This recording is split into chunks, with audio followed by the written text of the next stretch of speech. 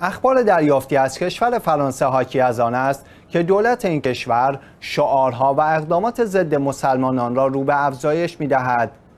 دولت امانوئل ماکرون با نزدیک شدن به انتخابات ریاست جمهوری شعارها و اقدامات ضد مسلمانان را افزایش داده است. جراد دارمانین وزیر کشور راستگرای فرانسه در جنگ اقدامات مستمر خود علیه مسلمانان این کشور هدف جدیدی را نشانه گرفته است.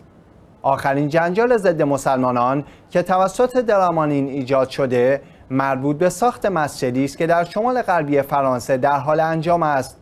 روز دوشنبه هفته گذشته مقامات شهرداری در شهر استراسبرگ اعطای کمک تقریبا 3 میلیون دلاری به کنفدراسیون اسلامی را تصویب کردند. دارمانین در توییتر خود در واکنش به این اقدام مدعی شد که شهردار این شهر از آنچه او اسلام سیاسی می‌داند حمایت کرده و از امضای منشور جنجالی پیشنهاد شده از سوی امانوئل مکرون رئیس جمهوری این کشور امتناع کرده است.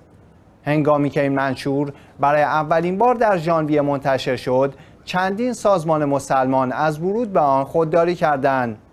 اکنون دولت ماکرون و وزیر کشورش در تلاشند با تهدید علنی افرادی که منشور را نقد کردهاند جامعه مسلمان را تحت فشار قرار دهند.